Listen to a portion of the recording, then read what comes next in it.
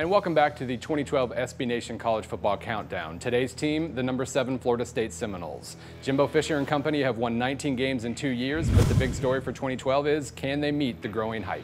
For the second straight year, Florida State will begin the season in the top 10. The last time they finished there, 2000. They've attained the reputation of underachievers, and to ditch that label, they must improve on the offensive line. The big number, 10. That's the number of different players who started on the Florida State offensive line last year.